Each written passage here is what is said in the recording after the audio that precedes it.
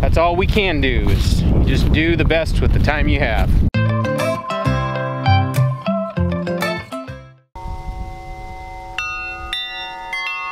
Good afternoon, beautiful people. I'm getting a late start today.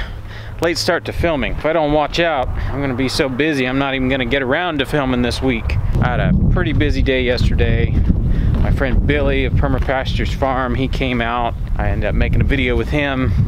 That'll probably be out around the time this video is, I think. All right, so last you saw, we had a pig farrowing it was kind of funny. I walked out, I just had a feeling I'd seen her laying in one spot and I figured she was probably gonna have babies and I walked out just to check her and I brought the camera with me.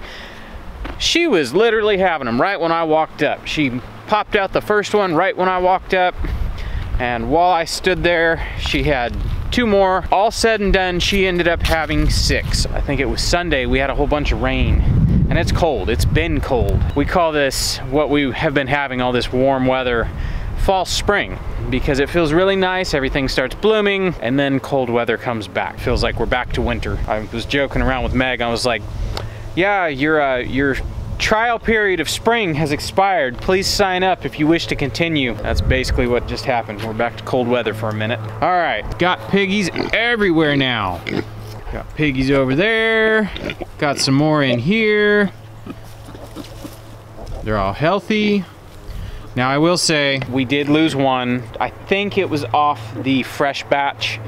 Um, they moved in here when the rain started and uh, I came out, I think that was Sunday morning, first thing, and there was one that had gotten smashed. Um, it looked like it was up against the wall where it couldn't get away and I mean, having a dozen, a baker's dozen of piglets in here with, you know, three full-size pigs, I imagine it was pretty crowded. Everybody trying to stay out of the uh, stay out of the rain. It sucks, but it happens. But everybody else is doing great. Now that this mama has brought her group over to the first one, they all nurse everybody. I, I don't even think the mamas know which babies are theirs anymore. I do notice that the the other batch, if you look at them hard enough, you can tell which batch is which.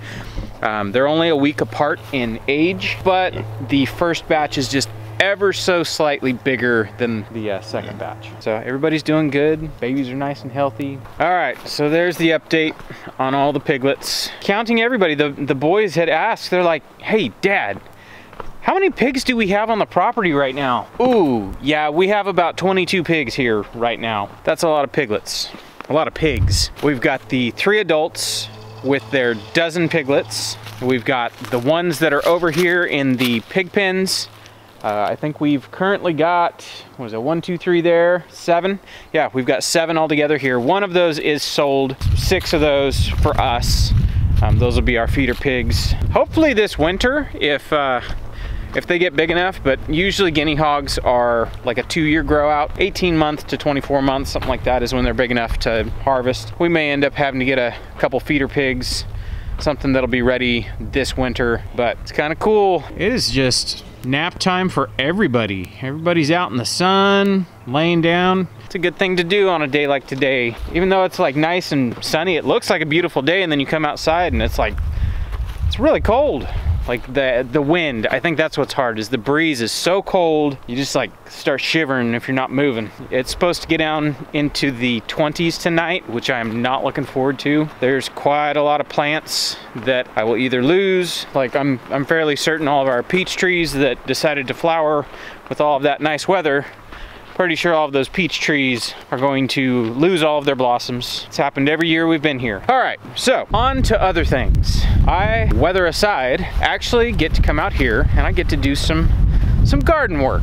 We, uh, we were able to find some seed potatoes and we are going to get a bed ready.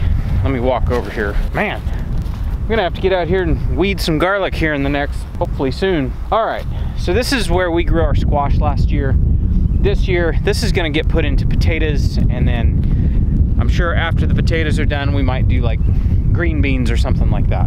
That was what we did last year in a bed down there. I think that'd be really cool. So what I'm gonna do is I'm gonna pull up this weed barrier. I don't know if I'm going to use it. it I've never I've never grown potatoes under a weed barrier. I want to say there's reasons you don't do that. Anyway, so I'm going to pull up this weed barrier and I'm going to get the tiller over here, fluff this all up. I may change the beds. I may uh, change how this is going, uh, do a couple more rows. But something that would be cool is if I pull these up, if this dirt is still fluffy enough, I could actually plant all the potatoes in the bottom of the row.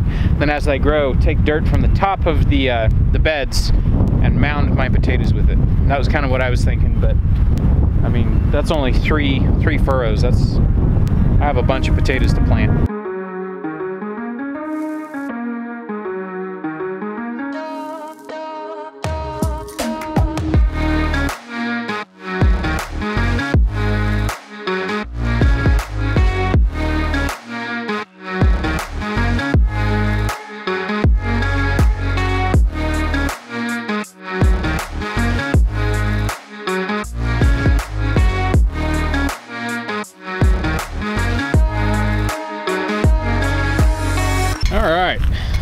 So this dirt is so incredibly fluffy and soft and moist. Last, uh, when was that? It was like late spring when we got this bed ready. Oh, I don't, I don't even remember now. I'd have to go back and look at our videos when we uh, put in this bed. Uh, I just about got beat half to death by the rototiller hitting rocks. Well, all the rocks are now moved. We've been able to use them for other things. I've put them in piles alongside the beds. I've picked up various piles. I've used them in walkways. Uh, and then like the really, really big rocks, I've actually put them in the ditch on the driveway where the water gets going so fast that it carves a canyon. There's a few rocks that were probably around the 30 pound size. Uh, you know, bigger than this fuel tank right there, just for size. Uh, good sized rocks that came out of this bed and I put them in the driveway. And when we have those big rain events, all of those big rocks wound up down at the very bottom. Apparently I need something bigger than 30 pound rocks to slow down that water. All right, so I'm just gonna continue doing what I'm doing. I'm just gonna rototill. This is not gonna take as long as I was thinking, which actually works out. Uh, right behind me, all of where we grew beans last year, we're not gonna grow climbing beans this year. We're gonna grow strictly bush beans. Last year, we had better luck with the bush beans and the varieties of climbing beans we grew, we didn't really like to eat. They were okay, but we really liked the uh, bush beans that we grew. So we're gonna grow exclusively bush beans this year. We're gonna try it out. So all of these trellises will come out and I'm going to reorient these beds to where they're going that way uh, because part of the problem is having the beds go this way in the bottom of this uh, swale is it blocks the water and we get a huge lake that way whenever we have rain. Wasn't really thinking about that one. When I put these beds in, it's like, yeah, I'm gonna set them up north-south.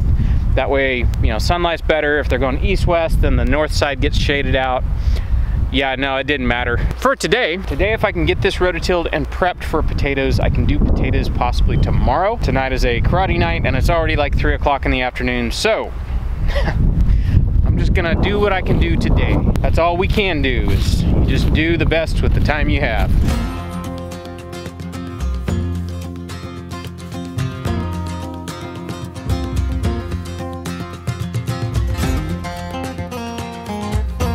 All right, got all my amendments down.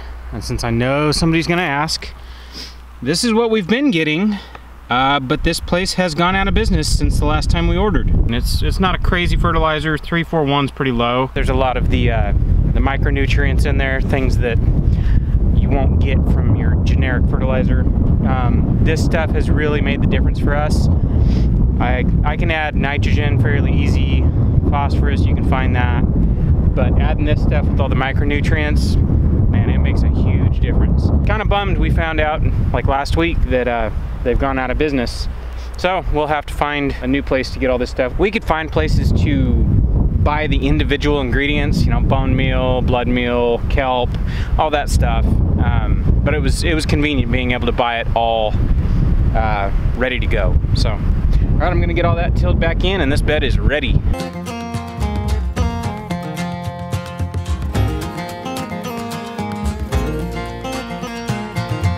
Wind is getting colder and colder. All tilled in, all the amendments are in. I'm actually gonna wait to rake this till probably tomorrow. It's just still too sticky and it's not muddy, it's just, it's almost muddy. It just needs to dry out a little bit. So I'll just leave this tonight And tomorrow, if I get a chance to get out here to rake and build my furrows, I'll do that.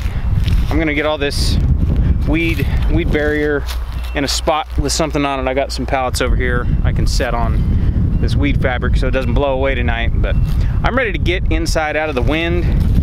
This wind is just, it's hard to work in the wind after a while. It's, almost like you feel chapped from being out in the wind. That's what it's, that's what it's like. It's just, oh, it's cold. My lips are, lips are getting drier and drier. All right, ran over here and like instantly whipped up some leftover mashed potatoes from yesterday in a dish. I was like, hey, what are you doing? She's like, I'm making dinner. It's like, in like five seconds? That's fast. leftover mashed potatoes. I have like no room in my fridge to put any more food because we just have like leftovers upon leftovers right now. So I'm using the leftovers. Yesterday was the twins' birthday. They couldn't agree on a single meal, so poor Meg here cooked like It was a lot. it was actually like the most disjointed meal I think we've ever had. It I was like it was, uh, shrimp and pasta. Yeah. But then there was chicken and pasta, and there was Broccoli. broccoli and artichoke, artichokes and mashed potatoes and gravy. It was just like and garlic bread. yeah, and garlic I mean, bread. some of the things went together and some did not. Yeah, But it was fine. It was it What was interesting. I mean, it was all good. But so I see some canned meat has come out. Yes. So, such an amazingly fast way to just pull a dinner out of your so hat. good, I love it. So, um, just mashed potatoes and this beef, and I'll put gravy on top of it, and we'll have like shepherd's pie, sort of. It's like Upside down. upside down shepherd's pie. Yeah. I mean, you can't go wrong with beef and potatoes. No, you really can't. So this is the stuff you canned last week. So last week? week I think it was last week. Whatever. I don't know. It Recently? recently, for some reason, the past couple weeks have just been such a blur. Goodness. I, I don't even know what day it is half the time. no. I really love canned stew beef. I don't know why. Because Like even as a kid, I loved it. Like we would get store bought cans, and mom would open it and you know have it sitting there ready to go into whatever dish, and I would eat like half the can.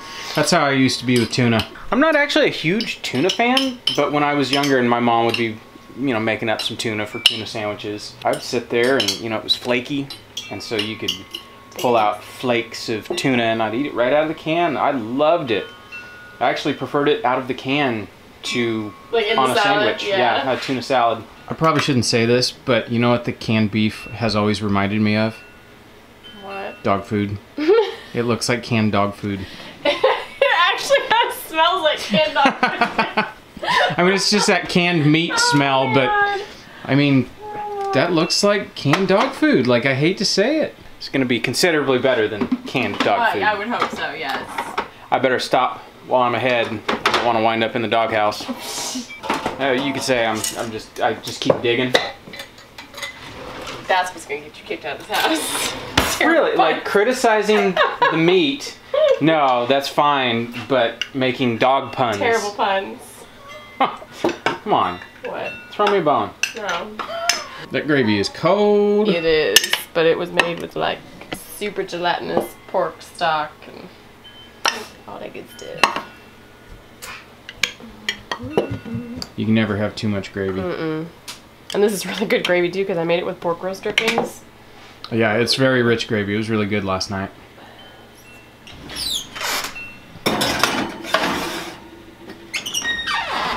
Right, so you just made dinner in like four minutes. Canned meat is like It is, it's the best. it's a game changer, honestly. All right, come on, lobster.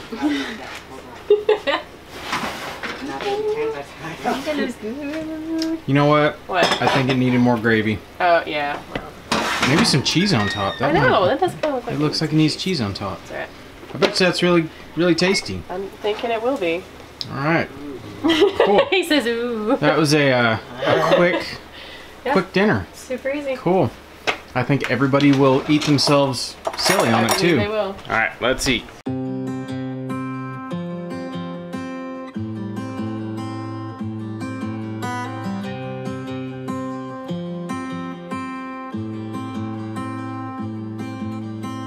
All right, I think that's gonna do it for us for today. This time change has got everybody all messed up. It is, yeah. It's here. It is Wednesday, and I still haven't adjused the time Tuesday. change. or Tuesday. See? See, I'm so messed up. I don't even know what day it is. No, I didn't color my hair red. No, it's not blue.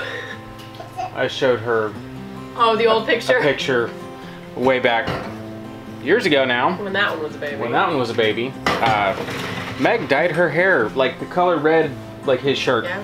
Yeah. It's pretty crazy.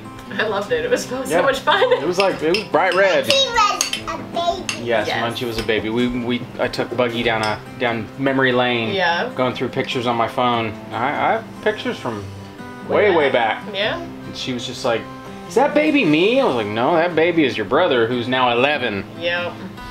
Time flies. Yes, it does. That's gonna do it for us for today. So we will catch you guys on the next one. Bye.